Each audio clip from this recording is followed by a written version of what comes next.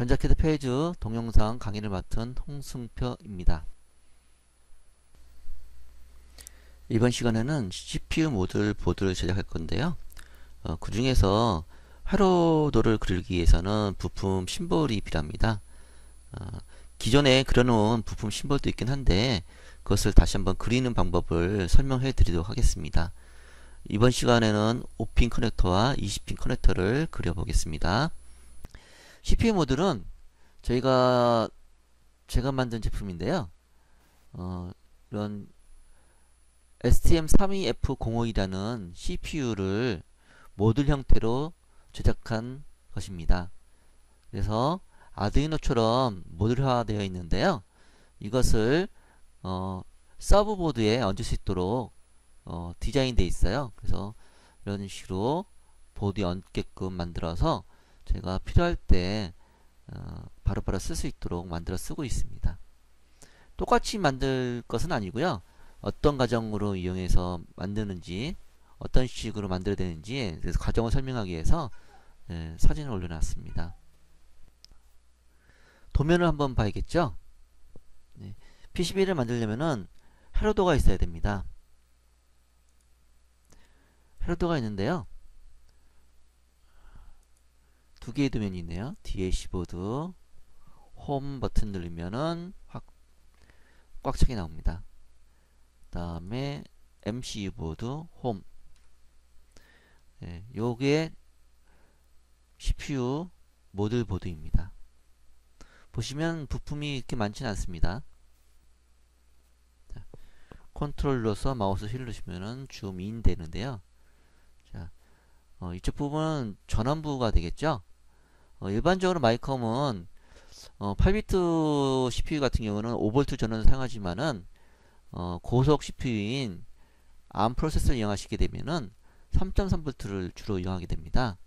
그렇기 때문에 이런 linear 레귤레이터를 써서 전압을 드롭시켜야 된다고 할까요? 전압을 낮춰가지고 공급하는 회로가 있어야 됩니다. 보통 회로들을 그리면요. 입력전에 콘덴서를 달게 되고요. 그 다음에 출력단에 콘덴서를 달게 되는데 이렇게 4개를 연속하게 달았다고 해서 요 레귤레이터 출력단에다가 바로 4개를 연속 다는 것이 아니라 어, 기본적으로 어, CPU에 가깝게 또는 음, IC IC 부품의 전원부에 가깝게 하나씩 달아주는 것이 좋습니다. 여기 같은 경우는 47, 48열에 하나 그리고 8번, 9번 하나 23, 24번 하나 이렇게 식으로 콘덴서를 달아줍니다.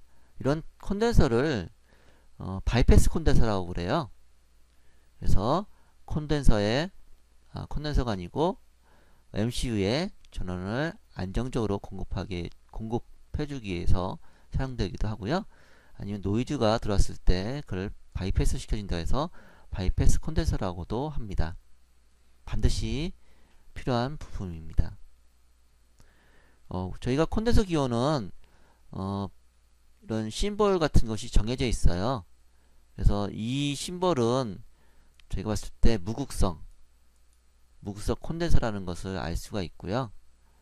여기다가 전에 콘덴서 같은 경우는 밑에가 살짝 위로 올라가 있고 반원 모양 돼 있고 어, 빗살 무늬가 되어 있죠. 그 같은 경우는 전해 콘덴서를 의미합니다. 또는 여기에 콘덴서에 플러스가 있으면은 그건 극성이 있다고 보시면 되는데요. 지금 이것 같은 경우는 역삽을 해도 상관없습니다. 무극성 어, 콘덴서입니다. 보통 104를 사용하게 되시면은 어, 모노 콘덴서를 많이 사용하세요. 경우에 따라서는 세라믹 콘덴서도 104가 있으니까 그걸 사용하셔도 되고요. 그 다음에 부품을 보시면은 뭐 저항 같은 경우도 기본적으로 제공되는 부품입니다. 330R로 되어 있네요. 어, 지금 이 형태로는 몇 와트인지가 알 수가 없습니다. 또한 어, 용량 몇 와트이고 그 다음에 사이즈 칩 타입 같은 경우는 2012인지 뭐 39, 2012인지 1608인지 뭐 그런 사이즈 같은 것을 알 수가 없는데요. 여기 같은 경우에 정의를 해주셔도 좋겠죠. 이런 부분들은 나중에 PCB 넘기기 전에 한번 다시 보도록 하겠습니다. 어, 여기서 LED가 있네요. LED 기호는 다이오드 기호에다가 화살표를 넣어놨습니다. 발광을 한다는 의미로 되어 있는 거고요. 이런 레귤레이터 IC 같은 경우는 따로 심볼은 없습니다. 다만 형태를 보시면은 V in 입력이 있고 출력이 있다는 것을 알 수가 있고요. 당연히 그라운드가 있어야 됩니다. 전위를 기준 전위가 있어야 되겠죠. 그래서 이런 형태로 많이 사용되고 있고요. 7805 7805가 제일 많이 사용되는 우리가 레귤레이터 linear 레귤레이터 IC입니다. 78 여기 3.3V 경우에는 7833 3.3이라는 게 있을 거고요. 보통 이런 조그만 것 같은 경우는 LM 시리즈도 많이 이용합니다. 1117 3.3V 패키지는 SOT 223 패키지입니다. 이런 패키지도 PCB에서 사용되는 부품 기호예요. 예, 그래서 이런 형태도 여러 종류들이 같이 쓸 수가 있기 때문에 명시를 해두는 것이 좋습니다.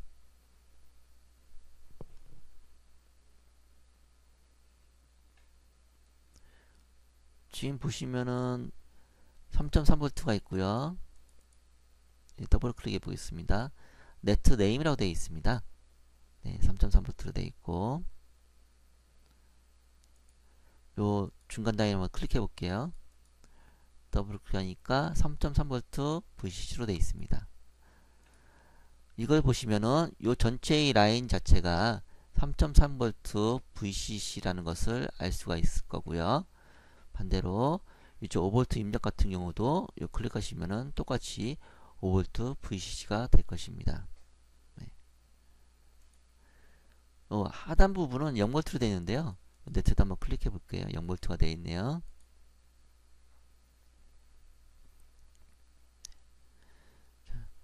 이것은 이제 CPU가 되겠습니다. 네, 마이크로 프로세서인데요. ST사에서 나오는 STM32F051이에요. 32비트 마이크로 프로세서이고요. Cortex 코어로 되어 있습니다. Cortex M0 코어입니다. 핀 패키지가 48핀도 있지만은 어, 100핀도 있고 144핀도 있고 뭐 여러 가지 형태가 있을 거예요. 어, 음, 일반적으로 저항이라든지 뭐 다이오드 콘덴서 같은 경우는 심볼로 제공을 합니다. 그렇지만 CPU 같은 경우는 어, 용도가 다 틀리기 때문에 따로 심볼을 제공하지는 않아요. 그래서 이것을 제작하게 되는데 제작하는 형태는 IC 패키지 형태로 하는 경우가 제일 일반적이고요. 보통 제조사에서 제공하는 어, demo board 심벌 같은 경우는 회로도 같은 경우에는 어, 핀 패키지가 이제 결선하기 좋게끔 아니면 또 헤로드 연결하기 좋게끔 포트별로 하는 경우가 많습니다. 그래서 전에 만들어 놓은 거 한번 찾아볼게요.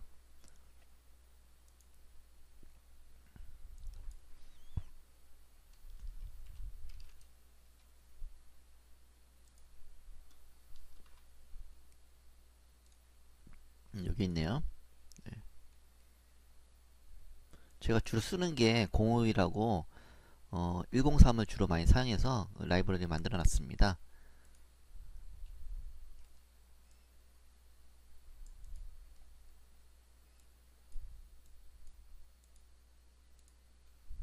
음. 비교해 보시면은 요거는 A 포트 포트 A P는 포트를 의미하고요. 어, A 포트에 제로부터 15까지 있네요. 그러니까 16개의 포트가 존재합니다. 그래서 순서대로 놨는데요. 어, 핀 번호가 틀려요. 중간중간 섞여 있죠. 네. 그래서 이거는 일반적으로 회로를 그리기 편하게 또는 회로를 이해하기 좋게는 이런 형태가 어, 일반적이고요. PCB를 아토가려면은 이런 형태가 또 오히려 좋을 수도 있습니다. 또 여기 같은 경우는 핀 포트 외에 기능들도 나열이 됐기 때문에 회로를 설계할 때 이런 부분들이 적용되어 있으면은 어, 설계하기가 용이합니다. 전원부도 따로 별도로 나와 있고요. 네.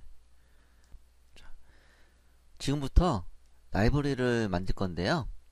어, 제일 보편적으로 만드는 것이 커넥터입니다. 커넥터를 한번 만들어 보도록 할게요. 커넥터 만들어 보고 다음 CPU도 만들어 보고 이것도 커넥터고요.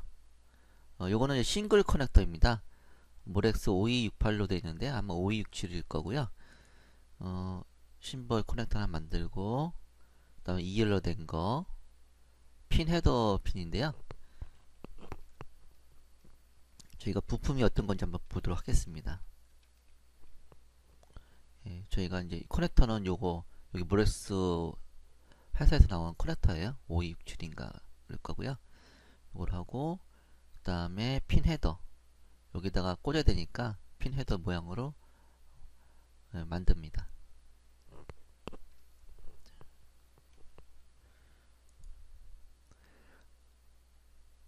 심벌을 만들려면요 part editor를 이용합니다. 예, tool에 part editor가 있어서 여기서 직접 심벌을 제작할 수가 있습니다. setup에 어, 캐드 데칼 에디터가 있습니다. 선택을 하시고요.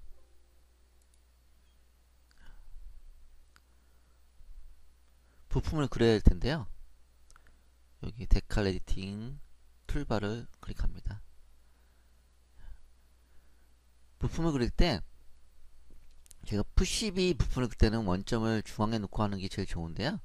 헤로드에서는 크게 의미가 없습니다. 그렇기 때문에 어떤 형태를 그려야 될 건데요. 어, 그리드 간격은 100mm로 하는 것이 좋습니다. 아트 컨트롤 C 현재 100mm로 되어 있, 죠 GD 100 예, GD 100 바꾸고요. 예, 핀, 핀을 몇 핀이라 할 것인가 CA 데칼 이저드라는 게 있습니다. 예, 클릭하시면요. 어, 핀수를 정할 수가 있어요. 우리가 어, 탑하고 아래쪽은 안 쓸 거니까 0으로 할 거고요. 지금 5핀짜리 커넥터를 만들 겁니다. 자, 5핀인데 우측을 하던 좌측을 하던 상관없습니다. 왜? 로테이트로 돌리던지 어, 반전시킬 수가 있어요. 미래어로. 이 때문에 음, 왼쪽이건 오른쪽 상관없는데 일단 오른쪽으로 하겠습니다. 비슷한 형태 될 거고요. 기본 길이로 합니다.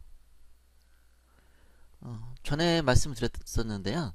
pin spacing 핀과 핀 간격을 의미합니다. 수평 수직의 간격이고요. box parameter는 이 박스 이 여기 한 칸, 이 두 칸이니까 200mm 예, 간격이 되겠네요. 그렇게 해서 OK 기본적으로 원점이 여기 잡혀 있네요. 그래서 이렇게 되어 있고요. 기본 형태만 이렇게 잡아져 있습니다. 자, 이 상태에서 직접 여기서 수정도 가능하고요.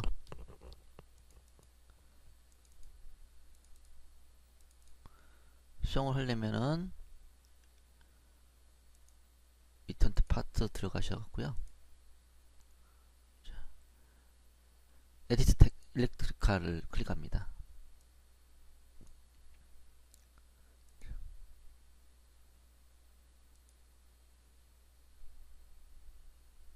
핀에서 핀 넘버를 바꿔주는데요. 1번, 2번, 3번, 4번, 5번. 오케이. 이런 식으로 해주셔야 되고요. 직접 수정하시려면은 네. 들어가셔서 직접 클릭하셔서 하나씩 바꾸셔야 됩니다. 수정할 때 클릭하면 이거 안 되고요. 요 핀을 수정해야 될 거예요. 핀을 누르시면은 핀 넘버에 대한 것을 할 수가 있습니다. 다시 똑같이 한번 해볼까요? 예, 여기서 번호를 하시면 되고요. 어, 커넥터 같은 경우는 뭐 따로 네임은 정하지 않습니다. 넘버만 정하기 때문에 1번만 넣었습니다. 또 2번 네. 요거는 이제 사라져요. 예, 부분 만들 때 없어지는 부분이고 기본적으로 요 핀에 대한 것만 정보를 기입하도록 합니다. 소스는 뭐 크게 의미는 없고요. 현재 이거는 터미널이니까 터미널로 할까요? terminator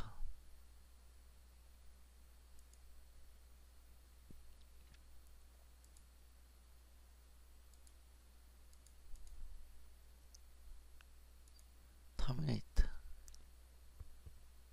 여기서 소스는 음, 출력을 의미합니다. bidirectional은 양방향성 회로를 의미하는 거고요. open collector는 컬렉터인데 출력이 오픈되어 있는 것을 open collector라 하는데 뭐 기호를 보고 설명해 드려야 되나 어떻게 보면 네, 그런 식으로 예, 핀에 대한 기능을 정의하게끔 되어 있네요. 근데 보편적으로는 노드라 놓고 사용하지 않습니다. 아니 undefined undefined로 던지 하는 게 일반적이고요. 현재 용도는 어, 터미널이니까 터미네이터로 하겠습니다.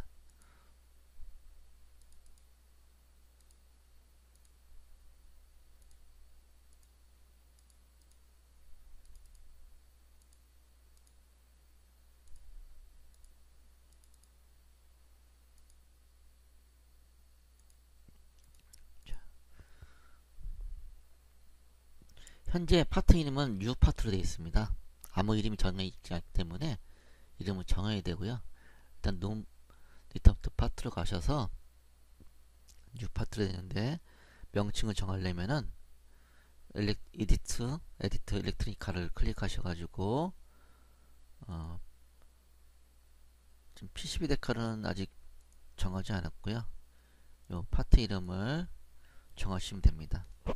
이게 보통 커넥터 용도로 쓰기도 하고 여러 가지 용도로 쓰긴 하는데요. 그냥 콘 5로 할게요. 콘 5로. 네, 이렇게 해서 정의를 했고요. 네. 오입줄이 이렇게가 있습니다. 요, 요거 형태 건데요. 제가 지금 만들어 놓긴 했습니다. 네, 만들어 놓긴 했는데 일단 이거 무시하시고.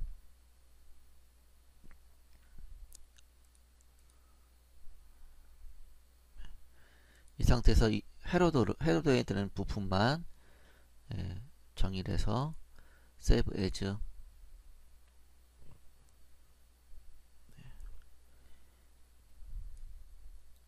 파트 이름. 지금 저희가 CA 데카를 콘 5로 만든 거고요. 이것을 명칭을 따로 또 등록을 해야 돼요. 왜냐면 이런 키워드를 용도로 사용되는 라이브러리들이 많이 있기 때문에 파트를 공유해서 쓸 수 있도록 하기 위해서 따로 하나 봅니다. 그래서 이거는 저도 그냥 똑같이 콘5로 하겠습니다.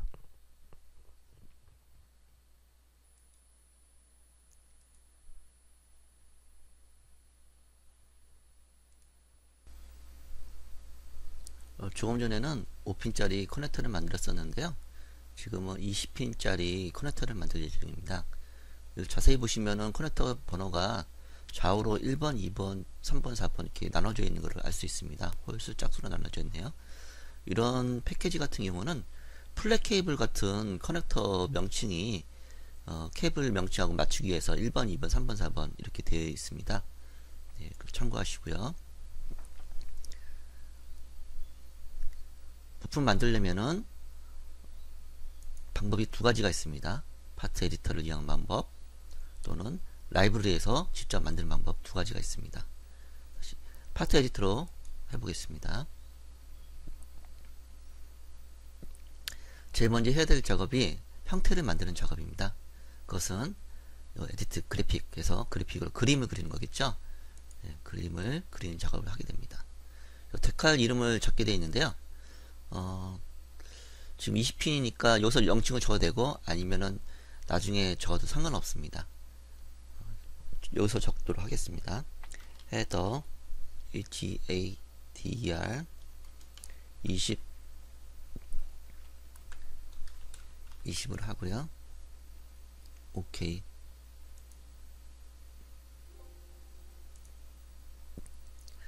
지금 화면인데요.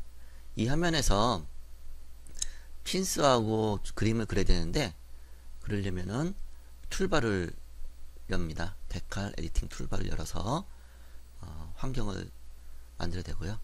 그래서 일일이 라인을 그리고 핀을 연결하는 방법도 있긴 하지만 어, 제 손쉬운 방법이 이 graphic wizard를 이용하는 겁니다. 우리가 좌우측 20핀씩 있으니까요. up, down은 0으로 놔두시고요. up, 위쪽 없애고 또 아래쪽도 없애겠죠. 또 없애고 그 다음에 좌측 우측은 20, 10핀 좌측 우측 10핀 10핀 10핀 이 간격이 너무 조밀하다 싶으면 넓혀셔도 상관없어요. 이것은 박스니까 박스를 200으로 400으로 늘린다든지 하시면 되겠죠. 네. 이거는 위쪽 아래 그러니까 위쪽 박스에 요거를 넓히는 것이고 어, 이 폭이니까 요 폭을 조정하는 것입니다. 400으로 하시면은 옆으로 좀 넓적해지고요.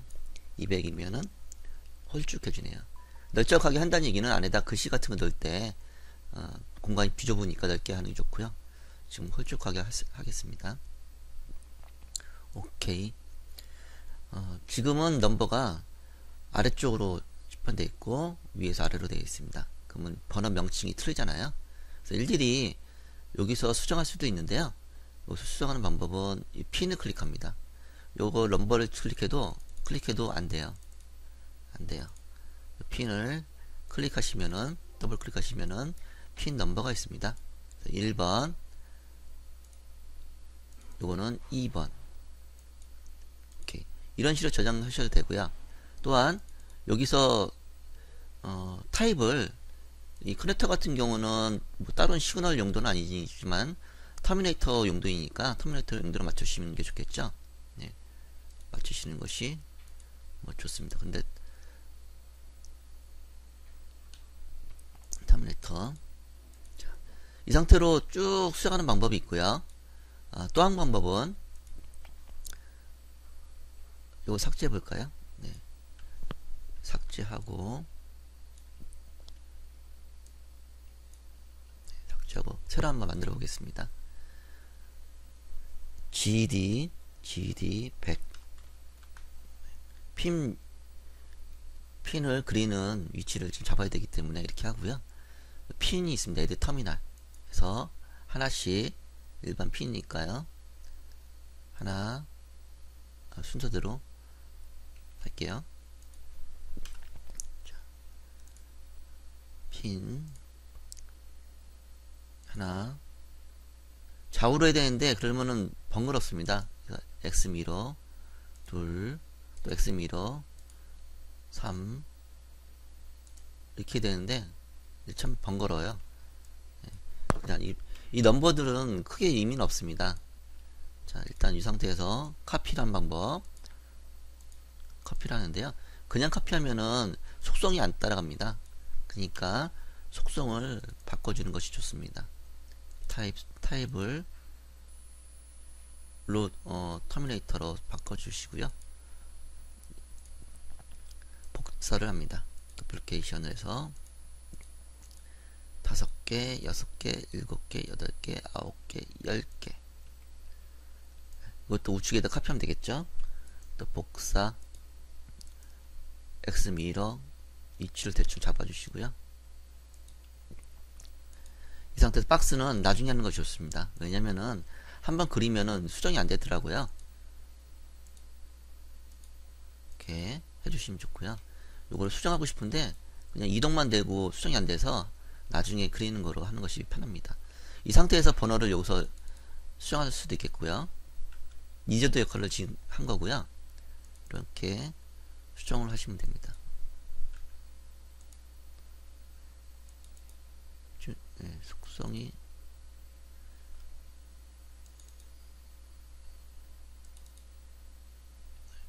왼쪽은 속성이 제대로 되어 있는데 오른쪽 속성이 반, 어, 없어졌네요. 자, 이 상태인데 이렇게 하는 방법이 있고요. 일단 이거 빠져나가서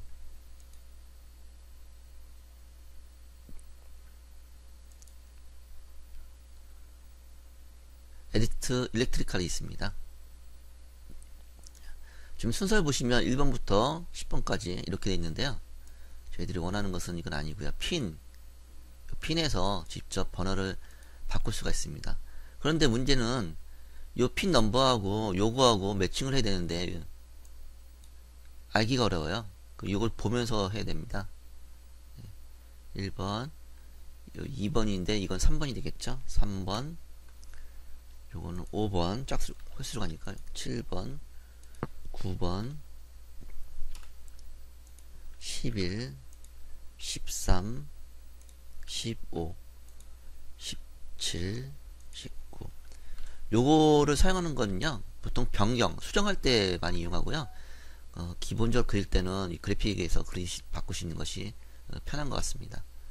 이렇게 하고 11번부터는 거꾸로네요. 그 아래쪽부터 20번이 2번, 4번, 6번, 8번, 10번, 짝수니까요. 12번, 14, 16, 18, 20. 넘, 넘버가 뒤죽박죽 됐으니까 헷갈립니다. 그때 넘버를 클릭하신 다음에 더블 클릭합니다. 더블 클릭. sorting이 돼가지고 예, 순서대로 나열이 됩니다. OK를 한번 눌러보겠습니다. 번호가 정상대로 들어가 있네요. 네. 지금은 어, 그래픽으로 설정을 한 거고요. 자, 에디트 일렉트리칼에서 하는 설정을 봐보도록 하겠습니다. 좀 전에 했던 핀 설정하는 게 있었고요. 네. 그 다음에 이 핀에 대한 속성인데요. 네, 숫자가 이제 20개의 핀이 있었고 게이트는 하나고 커넥터이니까 CON으로 하겠습니다. logic family는 어, 커넥터는 커넥터 형태로 해주신 게 없고요. 여기 왜냐면은 reference number일 때 RC 같은 경우는 U로 시작하고 어, 커넥터 같은 경우는 J로 이렇게 시작하게 되어 있습니다. 이제 패밀리도 변경할 수도 있긴 한데요. 일단은 기본 으로 하겠습니다. 네. 오실레이터는 Y로 되어 있고 그러네요. 네. 그리고 PCB 데칼은 현재 그린 그래픽을 헤로도를 헤로도 심벌을 실제 PCB 심벌하고 매칭하는 것 작업입니다. 근데 이것은 어, 도면이 완성된 후에 다시 작업을 하도록 하겠습니다. 헤더 20 아까 저희가 처음에 들어올 때 헤더 20으로 정했기 때문에 이렇게 있고요. 만약 처음에 그 CA 데칼 이름을 정하지 않았으면 여기서 어, 수정하시면 됩니다.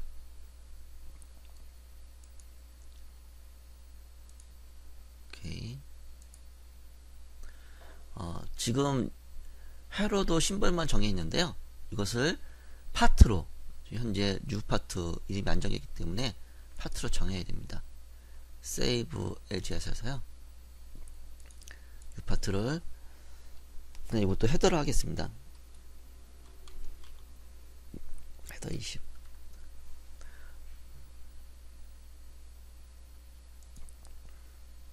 정했고요.